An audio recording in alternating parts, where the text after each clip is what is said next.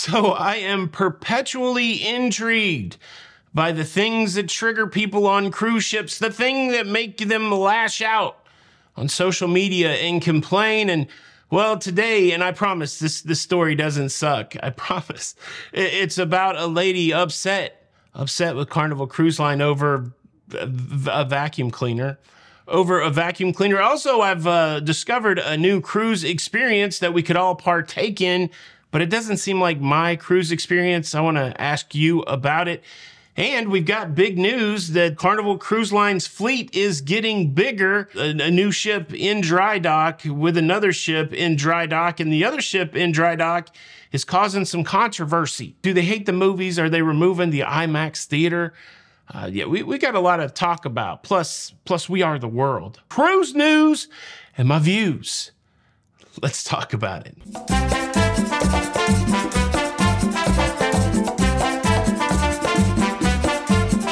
Hey, what's up, everybody? Welcome to La Lido Loca. I am your host, Tony, here with the latest cruise news and views. It's for your face.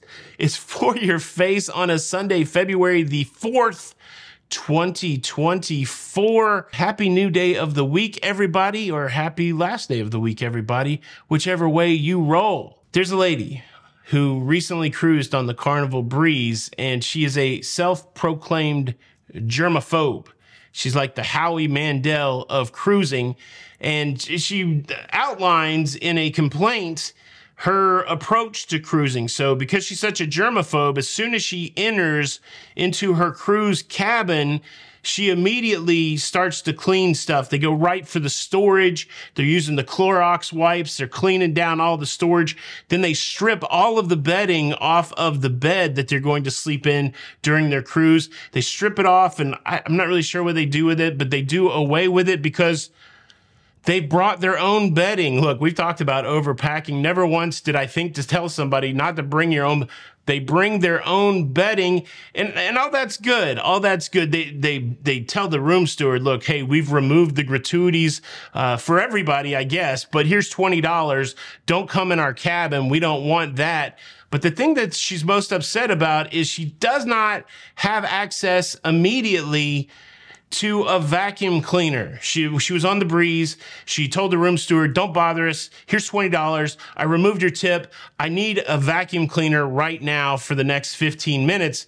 And well, the the poor room steward, he's like, "Well, they only give me one vacuum cleaner. I can't give you my vacuum cleaner. I'm still doing. St- I can't, no, no. The policy is we're not. We don't give guests vacuum cleaners." And uh, well, she's mad she's mad and she's uh, calling Carnival out over this policy that won't allow her to have a vacuum cleaner.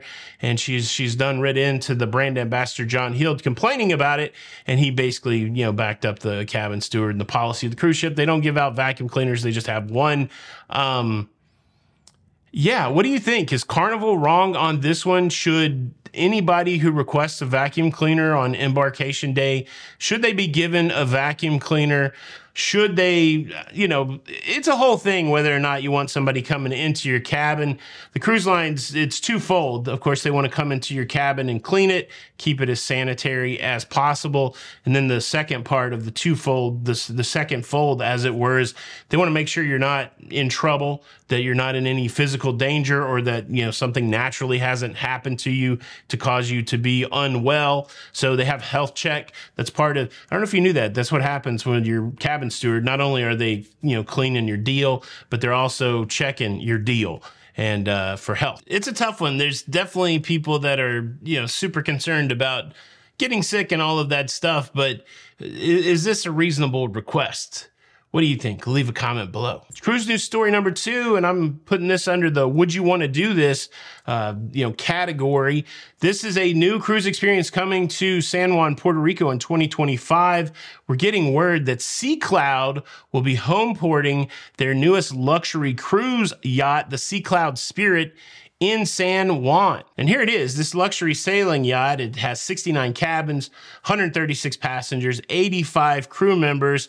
You can get on it for a little over $5,000 per person, and it looks nice. It's luxurious. You know, a lot of times you get questioned about luxury yachts and river cruises. And again, to me, this seems drastically different than ocean cruising, at least the cruising that I like.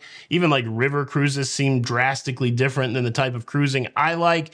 But uh, of course, it's not all about me throwing this out there because San Juan is easy to get to. And I've had other people ask about these type experience. But what do you think as somebody who's part of the cruising community, somebody who watches these cruising type videos, the ones that I do, uh, is this your jam or, or, is this not your jam?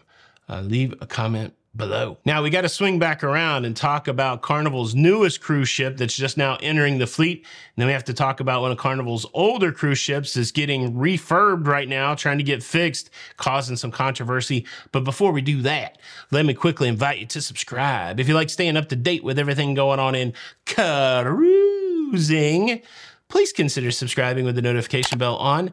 That way you miss out on zero zero episodes. And there's a lot of episodes. So somebody's surprised. They're like oh you do more than one. I do a lot of shows during the week. And uh, like i said this one hopefully it didn't suck. That's a callback to the vacuum story. Uh, hopefully you're enjoying it. I- will tell you what i did enjoy yesterday at the house uh, we watched a documentary on netflix about the making of the epic song in the 1980 i think it's 1983 we are the world and if you were somebody who was born in the 1970s or, you know, this hit right in my sweet spot. I think I was 12 or 13 years old when this thing came out. A lot of the pop stars of the day. And as somebody who likes to mimic voices, they gave me a whole song there that had all these voices that I could mimic. I love, love, loved it, but I never really knew how it all came together. And now this documentary on Netflix is there and it was really fascinating. So if you're from that era, if you like that song or if, if that is some part of your cultural memory, I would highly recommend I would highly recommend that documentary on Netflix. We are famously there was uh, you know Willie Nelson was in it, country music singer. There was another famous country music singer that walked out of the session. I didn't know that walked out of the session. Okay, let's talk about Carnival's newest cruise ship. The Costa Firenze is now in a dry dock in Cadiz, Spain, getting ready to be uncostified and carnival carnivalized. Carnival trans transformed, transform made over.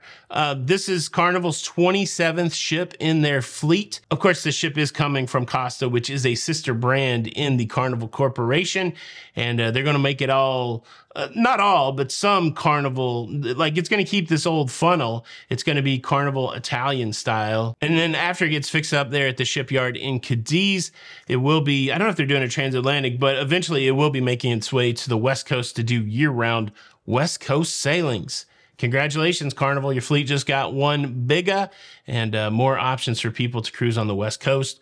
Are you going to be on this cruise ship? Is this something that interests you? Leave a comment below. Now, you may not know that, that the Firenze was not the only Carnival cruise ship in Cadiz in a dry dock getting stuff done to it. We also have the Carnival Vista over there in the same dry dock in Cadiz, Spain. And the Vista's had some propulsion issues. So I'm assuming they're working on those propulsion issues, but they're also doing some renovation to that cruise ship. And a nasty rumor got put out there by somebody on social media saying that they would be taking away the IMAX theater on the Carnival Vista. If you've been on any of these uh, Vista class cruise ships, I think they all have them. I know the Vista for sure and the Horizon. I've, I've seen movies on both of those cruise ships in the IMAX. I love it. As somebody who loves movies, I love the fact that they have this huge IMAX theater there. Uh, you know, and so a little bit when I heard this rumor, I was like, well, that that would suck. I don't think I would like that. But uh, look, it's not true. I'm here to be a truth teller for you today. It was addressed by Carnival brand ambassador. He scolded. He scolded some, you know, uh, some influencers, and then he also gave some praise to some influencers. It was cryptic, and so I'm not sure who he was talking about. But uh, either way, the the final message is that it's just a rumor, and it's an incorrect rumor. Vista not losing their IMAX theater. uh, the, the thing's never really full when I'm in there, so it is a question. You know, do they did they lose the IMAX on the horizon for the trampoline? How's the trampoline park doing? Are people going? Is anybody going to the IMAX and is anybody going to the trampoline park on this Vista class of cruise ships for Carnival? I, I try to hit the IMAX any chance I get. Uh, what about you? Leave a comment below. Now, let me hit you with a quick programming note. Make sure you're tuned in and subscribe to the channel because tomorrow I'll be releasing part of my conversation that I had with Derek from Island Time. He's been on the Jubilee, he's been on the Icon, and uh, we put together a little presentation tomorrow about if you cruise with small kids, uh, who should you cruise with? And that conversation is just from a larger conversation, an over one hour conversation that we had.